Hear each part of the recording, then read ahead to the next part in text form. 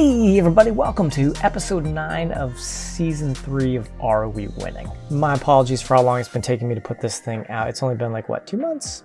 Maybe? But to be fair, like during the time of COVID, it's like everything feels like it's still March or June or something, or August even. I don't really know. But I'm going to wrap this season up pretty soon, I think. Um, but I do want to make sure I take the time to do it right because it is one of my favorite seasons of my favorite series. So, but since the last one, I did start a Patreon, and I took my own advice about transparency.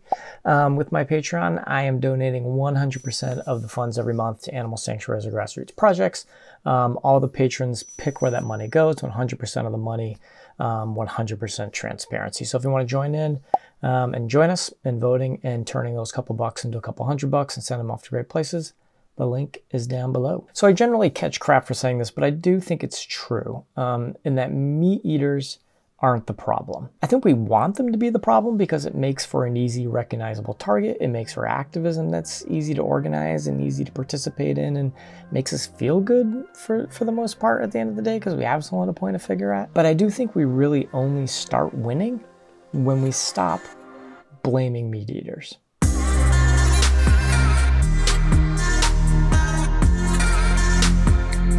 Okay, in the United States, in the 70s, long before most of you were born, the Keep America Beautiful campaign launched, what would become like one of the most iconic advertising campaigns ever. Uh, it's known as the Crying Indian. It was 1970, you know? But it sparked a generation and, and onward to stop littering um, and eventually start doing this thing called recycling. So it was our duty as the individual to save the environment, to keep it clean and to recycle our trash into something new. And it was going to be a lot of work, but, but we had to do it because it was our responsibility. Some people have a deep, abiding respect for the natural beauty that was once this country. And some people don't. People start pollution. People can stop it except uh, we can't really. So, for starters, the Native American in the commercial, he's actually an Italian American man. And when it comes to him, uh, the fact that what you're seeing isn't what it appears to be should tell you just about everything you need to know about the commercial. And the Keep America Beautiful campaign, it was secretly run by big corporations like the Dixie Cup Corporation, who makes all the paper cups, paper products, and Coca Cola companies who were being targeted in the 70s for making single use items and, and, contributing to an enormous amount of litter. But this campaign, it worked like a charm to focus the attention off of these corporations and put the onus on the individual to make change. Despite the fact that, like, generally speaking, solid waste produced in the United States by individuals uh, only made up about 3% of all waste in the United States. Corporations, they accounted for the other 97%. That's right, even if we got all the people in the country to recycle and reuse and become zero waste, we are only affecting about 3%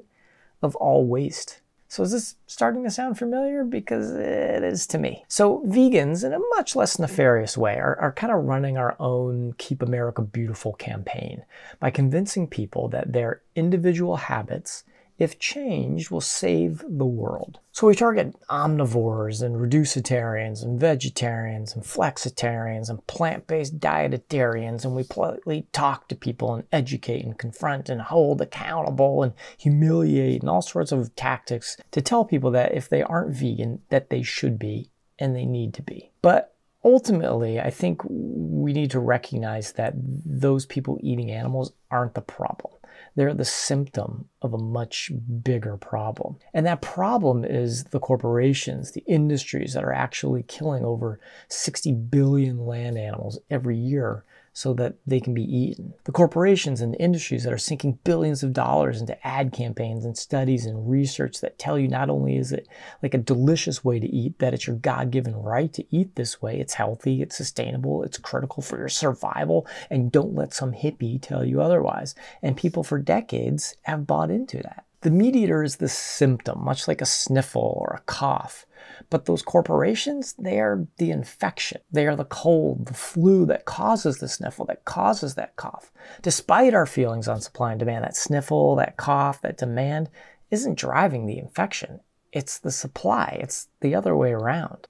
And just like when we are sick, we need to attack the infection and not the symptom if we want to make systemic change. So I often use the analogy of like a tree that we need to remove. The movement spends an enormous amount of time convincing one person at a time, like picking one leaf off of that tree at a time in order to destroy the whole tree. But the tree has like billions and billions of leaves, and we need to remove a whole lot of them in order for that tree to eventually die. Except by the time we get to the bottom of the tree, all the leaves at the top and in the middle that we've been picking off for years and years and years, they've already all grown back. So we start back at the top and the process continues and continues and picking and picking and we never really get anywhere. But it feels like we're getting somewhere, right? The part of the tree in front of us is a little more bare than before and we can see that change right in front of our faces. But if we look around, the, the trees continue to grow. It's growing at a massive rate, but right in front of us, hey, it looks pretty good. So instead, we need to start hacking off branches and limbs. We need to dig up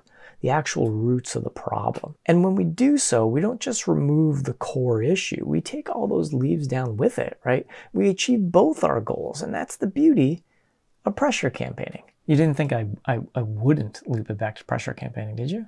Come on. So we need to stop showing up to this puzzle with, with just like our one puzzle piece, educational outreach or street activism, whatever you want to call it, and think we're going to finish this big puzzle. We need to show up with all the pieces scattered about and we need to strategize on how to put it all back together because we need all the pieces to win. And so far, we've basically shown up with the same puzzle piece and the same piece only for decades and we are confused that we haven't finished this puzzle yet. Like, what is taking so long? Okay, enough with all the analogies. So, yes, I know there are way more plant based options in the stores and the restaurants than before. That's great. I'm all for that. I'm happy they're there. I love to eat good food. But that's like the equivalent of littering corporations making anti littering ads. They feel good, you feel good, but at the end of the day, now the corporations are making a buck not off of just dead animals, but vegan food. And sure, it feels like we have some friends who went vegan and a family member or two. And I talked to some people at the last event and I planted some pretty big seeds. And it's at this point Connie Spence from the Agricultural Fairness Alliance pops up and says, it's all canceled out by subsidies. And she's right. The link, the link's all down below. And yes, I, I know the UN has indicated that eating a plant based diet is the best thing that you can do to shift climate change. But the key word there is you, the individual. If you actually dig into those studies and, and, and read them, the main problems are, are what the corporations are doing to the land, the soil, the water, the climate. That's where the real problem is. So, yes, as an individual who's thinking, should I buy those funny looking light bulbs or should I buy a Prius or become plant based? Yeah, sure, you should. You are the target audience in that statement. But the real problem lies in the system, and that's where we as activists, not individuals on the sidelines, that's where we need to put all of our energy. And like I said before, we can solely push our vegan agenda to the individual, but unless we can start seeing real big change real fast, it's not going to do anything.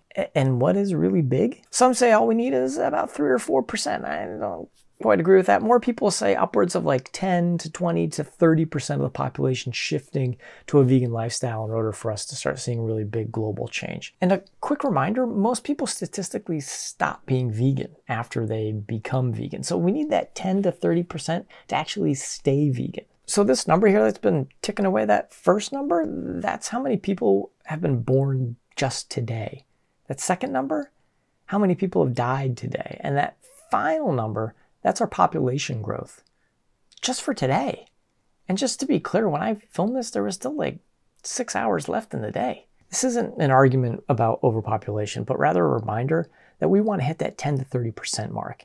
At the very least, we're going to need to create 15 to 45,000 lifelong vegans every single day. Think about that. That's the equivalent of turning the entire population of New York City into lifelong vegans in six months. It's going to take a whole lot of cubes. So this is not meant to depress you, but I do think we need to be realistic about our abilities, right? This isn't me saying we need to stop talking about veganism or encouraging people to be vegan or wanting everyone to be vegan because I want all those things. I want the world to be vegan. Honestly, I do. But I think we need to be realistic about what we can and can't do right now. And what I think we can do is use campaigns to start digging up those roots, going after the infections, tackling these corporations and industries with a whole bunch of tactics, including outreach. We can continue to talk about our issues about veganism, but we do it in like the context of a campaign as one puzzle piece amongst the many that we're going to be using. And that way we get to do both. We get to transform individuals and industries. And that's how I think we start winning.